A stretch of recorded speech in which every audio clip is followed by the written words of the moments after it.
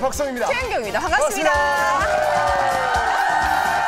자, 요즘에 한참 졸업 시즌인데요. 아, 네, 맞아요. 정말 예. 다들 congratulation. 그런데 우리 중에서도 졸업하는 분이 계시답니다.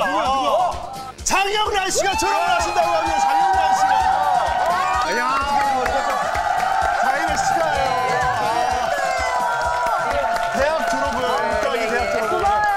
최은경 씨 최경 씨는. 하셔야죠. 아, 그럼 저 좋아서 가져요. 아, 저, 아, 아, 아, 김나가 가져. 아, 설경 씨가 너무 좋아서. 어, 나 예쁠라고. 아, 김희석 씨 너무한 거 아니에요? 근데 다 줬는데 김인석 씨는 안 줬는데. 뭐 이렇게 꽃다발 준비하셨는데 저는 아니에요? 제 마음속에 장영란 씨는 좀 특별하거든요. 야, 김인석 씨 역시. 야, 배려하는 거 뭐야? 야, 말도 안 된다. 그래? 그래? 진짜 야, 아니야. 아니, 근데. 어, 예. 하나, 둘, 셋. 네. 야. 아, 딱 가려지. 장영란 씨, 어. 그 뒤로 들어가 계세요. 아니, 근데. 예. 아, 아, 야, 예쁘다. 아니, 정말 이런 기특한 생각을 한 김인석 씨. 김인석 씨한테. 고맙습니다. 예, 예.